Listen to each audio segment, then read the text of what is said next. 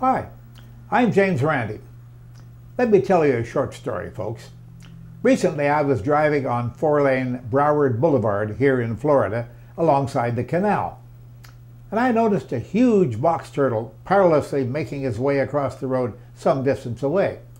The driver ahead of me swerved to avoid the creature, but hardly slowed down. While I pulled over, I stopped and lugged the very heavy traveler to the edge of the water. He seemed not to express his thanks to me for his rescue, but he plopped into the canal with what I fancied was a certain degree of relief. It's the kind of thing I often do. I pick up sharp objects I find when walking along the beach carrying them about with me until I find a suitable place to safely deposit them.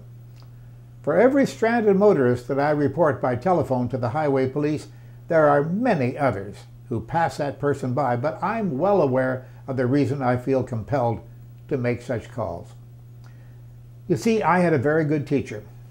My paternal grandfather, who long ago left us for what he believed would be a far greater adventure, was very important to me as I grew up. He cared a lot. He looked on lying as a grave infraction of proper social behavior, though I will tell you that on one occasion, and only one, I deliberately lied to him. I visited him as he was in his last hours, and he asked me if I thought that he was going to meet my grandmother, who had died a few years earlier. I told him that yes, he probably would, though I had no such delusion at all. He just smiled. Whether or not he believed me, I'll never know, but I did this to possibly bring him a bit of comfort in his last moments. I've no regrets about that at all. Gramps was one who would wipe away bits of chewing gum on a park bench because someone may sit in it, he'd explain. Quite unnoticed, he'd pick up and replace a hat that had fallen from a clothing rack in a restaurant. A piece of wire protruding from a fence at the playground would be bent back out of the way by my granddad. I learned a lot from him, watching him as he performed this part of his life. Now, Grandpa wasn't a caretaker or a watchman of any kind. He worked as an electrician.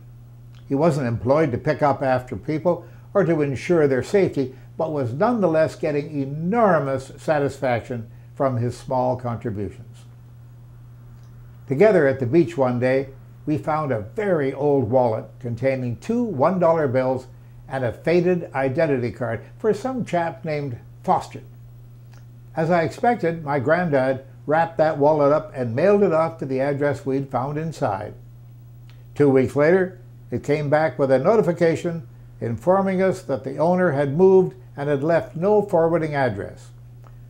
Grandpa simply extracted the $2 and stuck them into a book on the bookshelf we reluctantly discarded the wallet. Well, the next Sunday morning, I answered the door to find a lady there asking if we would contribute to a worthy charity. Grandpa lit up and retrieved the $2 from the bookshelf. He handed them to the lady, and as she thanked him, he shook his head. No, no, no, that's not mine, he said. It's from Mr. Foster. I'm sure he's glad it's been put to such a good use.